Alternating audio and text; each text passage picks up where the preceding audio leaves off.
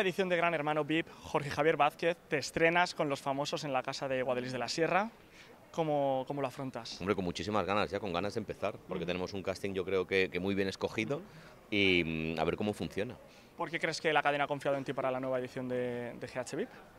Em, es que estas preguntas, si quieres que te diga. Pues porque soy muy buen presentador de entretenimiento, porque tengo experiencia en supervivientes. Eh, es que es una pregunta muy trampa, ¿eh? porque digas lo que digas aquí, no lo sé, no lo sé. Ya.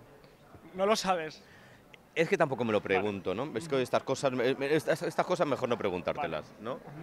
Bueno, Te lo dicen y dices, ah, vale, pues sí. pues lo hago. Claro, pues lo hago. ¿Cómo ves el casting de, de Muy bien, famosos? No, no queda nadie normal fuera de la tele ya, ¿no? De esa casa. La gente puede estar tranquila en las calles. La ¿no? gente puede estar tranquila en las calles, pueden salir todo el mundo tranquilamente porque ya eh, los únicos elementos así... em, Interesantes. interes- no, eh, los únicos elementos em, que pueden provocar algún tipo de anomalía están dentro. Muy bien. Bueno, solo falto yo. ¿Cómo ves a... Sé que con Ángel Garó tienes como una fijación. No, no, no, fijación no, pero es que él me hace mucha gracia. Él cuando se pone serio me hace mucha gracia. Me hace mucha gracia esa gente que habla de sí misma con tanta autoridad. Y ese momento en el vídeo que hemos visto ya un adelanto saliendo al balcón. A- ver, yo creo que es una persona muy inteligente. A ver qué... qué, no lo sé, a ver cuánto dura dentro de la casa. Esa es la gran pregunta, ¿no? Cuando hicimos la entrevista de supervivientes me dijiste, me gusta mucho gente como Francisco, que entre gente o gente como Maite Zaldívar, gen- gente con una edad. Entonces habéis dicho, pues metemos a Aramis Fuster, que tiene 697 años. Como mínimo, ¿no? Lo de Aramis es una bomba de relojería, ¿eh? Sí. Lo de Aramis es una bomba de relojería. Espero que sea lo, sufic- lo suficientemente inteligente para ir midiendo sus, eh, mm, sus arranques. Eh, Sí, la verdad es que es un concursante. Bueno, ya vimos, por ejemplo, en su día a Maite Galdeano entrar en la casa como dinamitó ese contraclub. No puede pasar. Es verdad, pobrecita. Que el pobre Pablo se largó, ¿no? ¿No crees que puede pasar un poco lo mismo? Que le decía, Maite Caldeano le decía una palabra que me encantaba, que era apamplao. ¿No te- era- ¿Te acuerdas? Tú eres un apamplao. Yo soy muy fan de Maite. Somos muy fan de Maite, pero hay que tener cuidado con, con esa casa que estáis, están todos tan encerrados. Gente como Aramis y Maite pueden Ya, crear hombre, pero ya que situaciones. montamos un gran hermano VIP, tampoco va a ser ya, pues tiramos la casa por la ventana, ¿no? Sí, sí, sí, no, yo a Hay que favor tirar de la casa por la ventana, claro. Jorge, siempre te preguntamos eh, si vas a ir a la isla, Patatín. Este año no te voy a preguntar si vas a ir a la casa, porque estuviste eh, hace ya unos Sí, cuantos años. Pero sí que me gustaría ir. Yo le he dicho a los de Zeppelin que cuenten conmigo para lo que quieran. Si quieren, yo me voy un, un día a dormir, a desayunar con ellos, a lo que quieran, a mí me encantaría. Ajá. hacer la gala desde dentro. Bueno, mm, a mí me creo que, que tenemos que hacer todo lo posible para que la gente se quede enganchada. Y yo estoy muy dispuesto. ¿Cómo recuerdas aquel fin de semana que pasasteis hace ya muchos años con Lidia? Pues mira, recuerdo que mm, se lo he contado a unos compañeros tuyos que eh, estaba con Lorena Galán, una compañera mía, y nos cabreamos muchísimo con Lidia, muchísimo, porque teníamos, ella preparó una paella, me voy a hacer una paella, voy a hacer una paella. Y esto es verdad, eh, a la paella, en vez de sal, le echó azúcar. Se confundió de bote, nos cogimos un rebote. Pues vaya concursante se está perdiendo Gran Hermano VIP, ¿no? Sí, Sin Lidia. Sí, gran hermano VIP, mm, sí, yo lo reconozco. Debería, mm, es que deberíamos obligarla a entrar. Has hecho un gran dato de audiencia con supervivientes, un 30%. Más, más. Más, más, de un Más, más, 30%, más. como una catedral. Esto, Como varias catedrales, como varias Juntas. catedrales, juntas, juntas. esto, eh, esto es, es que a mí me gusta mucho que la televisión demuestre estar tan viva todavía. Me parece que es, es si- sinónimo de que la tele todavía crea fenómeno.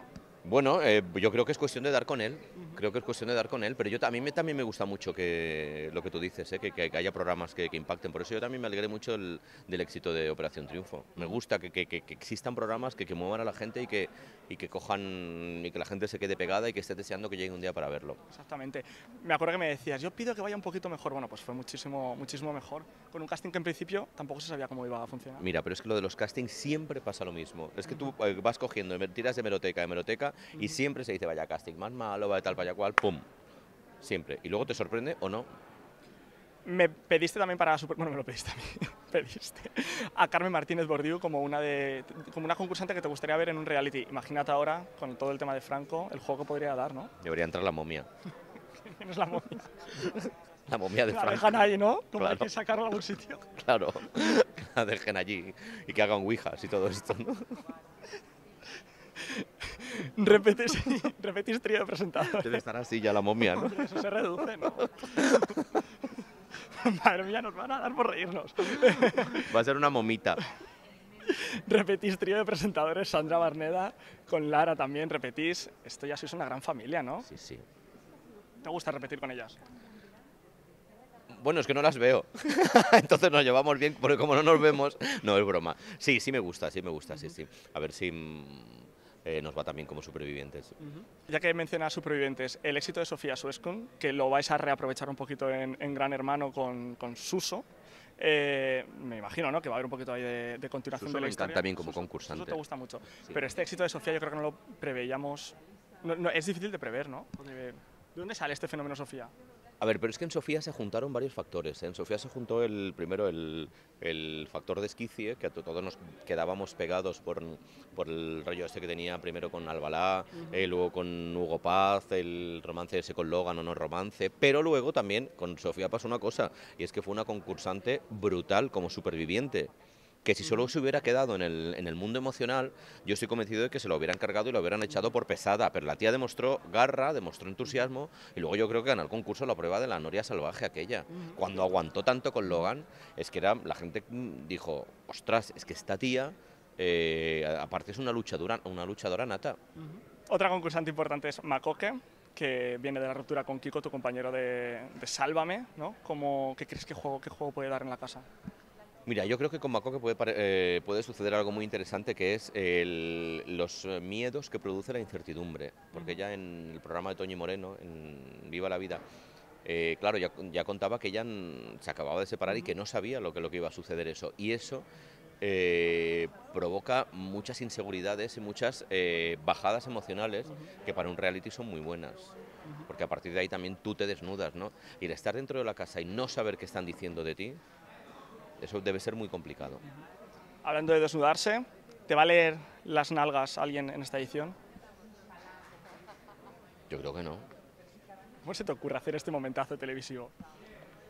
¿Pero te pareció muy heavy? Hombre, Es heavy. Sí. A ver, eh, sí, ¿no? El presentador titular estrella ahí con él. Pero que es muy guay al mismo tiempo, te digo. O sea, me parece un espectáculo, que es lo que hay que hacer. Chico, a mí me parece una cosa normal, ¿no? Es que ya que estás... es- partiendo de la base de que leer las nalgas para adivinar el futuro normal chico, no es. Claro, es que vamos a si- pero vamos a ver, si te quieren leer el culo, ¿tú te vas a negar?